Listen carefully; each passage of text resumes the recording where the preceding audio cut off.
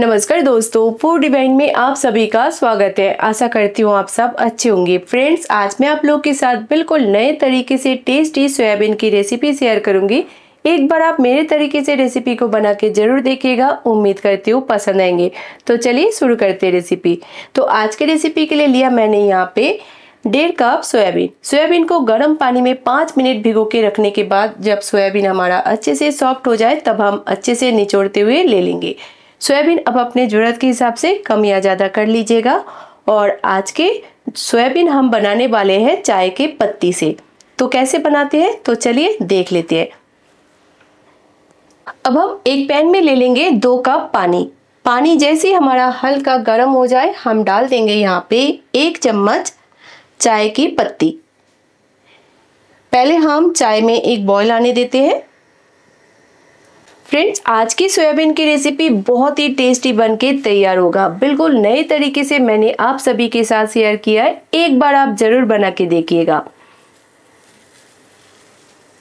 जैसे बॉयल आ जाए, हम गैस का फ्लेम बिल्कुल लो पे कर देंगे और तीन मिनट के लिए हम अच्छे से लिकर को बॉईल करेंगे।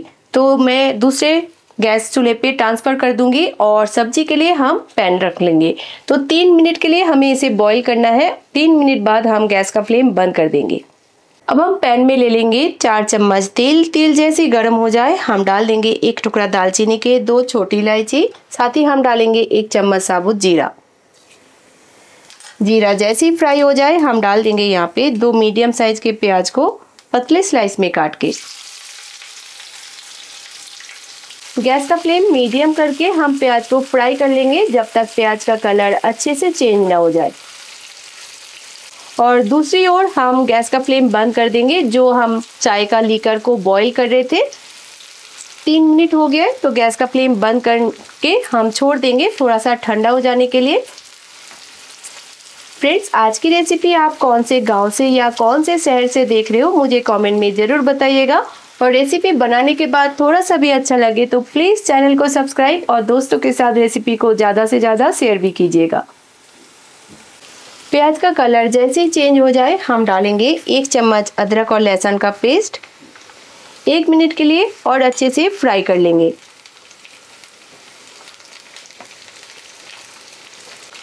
अदरक, लहसुन जैसे ही हमारा भून जाए, हम डालेंगे ड्राई मसाले। आधा चम्मच हम डालेंगे हल्दी। दो चम्मच कश्मीरी रेड चिली पाउडर, तीखा कम ज़्यादा आप कर लीजिएगा, जैसा आपको पसंद हो। मसाले डाल के बस मिक्स कर लेंगे और डालेंगे हम यहाँ पे दो मीडियम साइज़ के टमाटर का पेस्ट।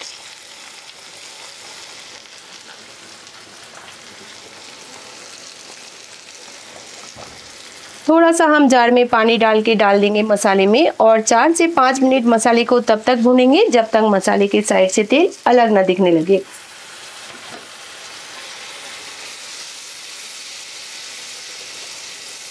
टमाटर डालने के बाद मैंने चार से पाँच मिनट अच्छे से भून लिया है। अब हम डालेंगे एक चम्मच धनिया पाउडर, साथ ही हम डालेंगे एक चम्मच जीरा पाउडर। नमक डालेंगे स्वाद अनुसार।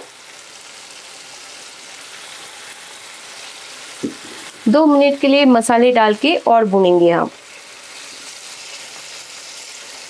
दो मिनट मैंने मसाला डाल के अच्छे से भून लिया है। अब हम डालेंगे यहाँ पे आधा चम्मच बेकिंग सोडा। बेकिंग सोडा डालने के बाद हम दो मिनट के लिए मसाले को मीडियम फ्लेम में और भूनेंगे।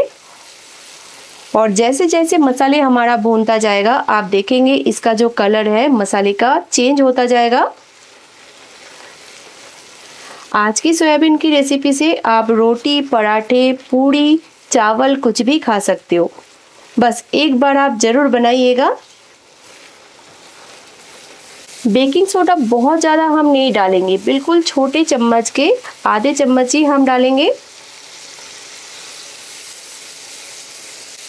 तो देखिए, दो मिनट मैंने मसाले को और अच्छे से भून लिया है और आप देख सकते हो मसाले का कलर जो है पूरी तरीके से चेंज हो चुका है।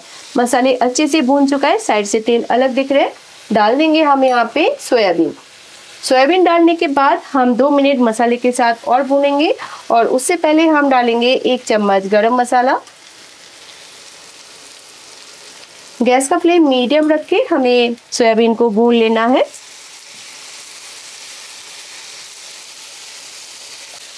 फ्रेंड्स क्या आपने पहले इस तरीके से सोयाबीन को बना के खाए हो? मुझे कमेंट में ज़रूर बताइएगा।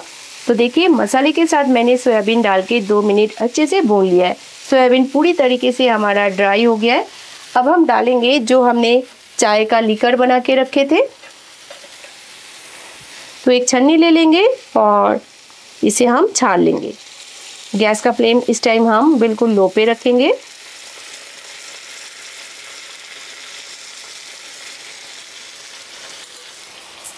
अच्छे से हम मिक्स करेंगे।